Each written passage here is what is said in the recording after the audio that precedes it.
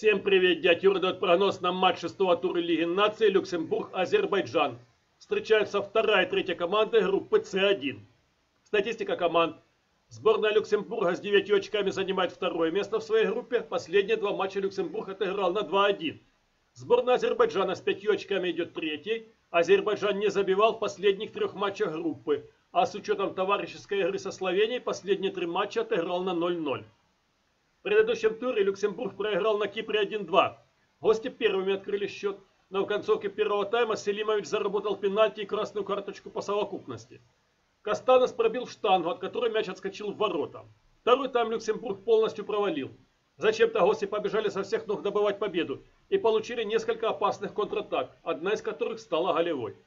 Азербайджан разошелся нулевым миром с Черногорией. И в этом матче не обошлось без удаления у гостей.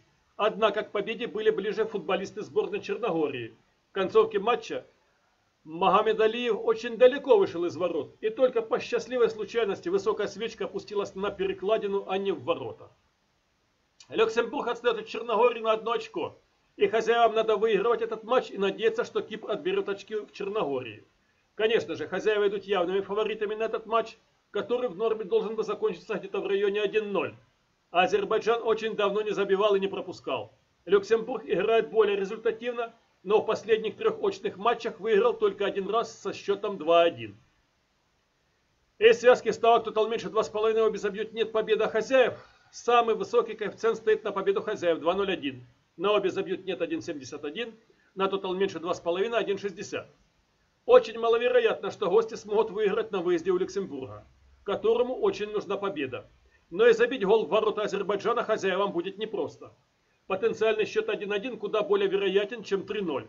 Поэтому ставку на тотал меньше 2,5 можно признать самым надежным вариантом из предложенных.